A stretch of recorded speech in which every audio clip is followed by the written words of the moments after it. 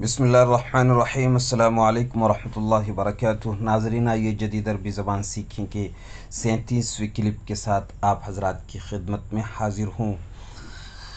عنوان مختصر ایک جملہ۔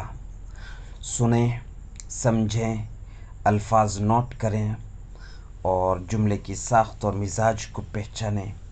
الشرطة الهندية تحقق مع معلمة أمرت تلاميذها بصفع زميلهم المسلم.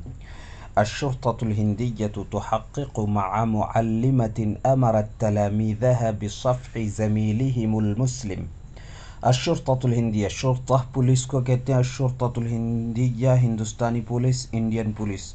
تحقق حقق يحقق تحقیقا تحقیق کرنا مع معلمت اس ٹیچر کے ساتھ، اس خاتون ٹیچر کے ساتھ، خاتون ٹیچر، معلم معلمتن تحقق دیکھیے، تحقیق کرنا، کسی سے تحقیق کرنا حقق معه تحقق تحقق معه حققت معه، لفظ معا کے ساتھ استعمال ہوا ہے۔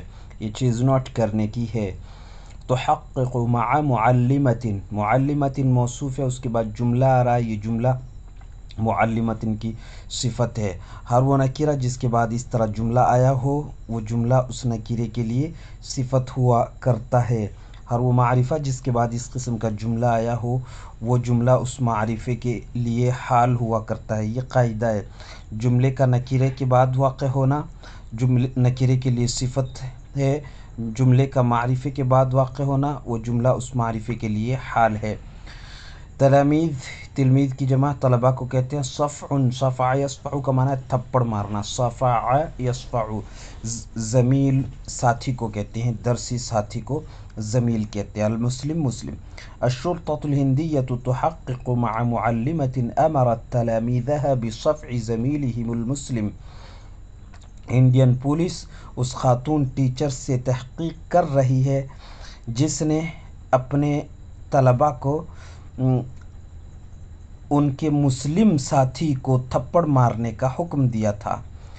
ہندوستانی پولیس، انڈین پولیس نے اس مسلم، اس خاتون ٹیچر سے تحقیقات کی، جس نے اپنے طلبہ کو ان کے مسلمان ساتھی کو تھپڑ مارنے کا حکم دیا تھا۔ جس نے امارت تلامیدہ جس نے اپنے طلبہ کو، اپنے اسٹوڈنٹس کو ان کے مسلم ساتھی کو تھپڑ مارنے کا حکم دیا تھا۔ یہ ترجمہ ہوا۔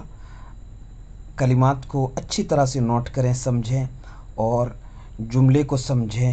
السلام علیکم ورحمۃ اللہ وبرکاتہ۔ میں نصیر الدین قاسمی خادم ادارہ مرکز المعارف، جودھپور، راجستھان۔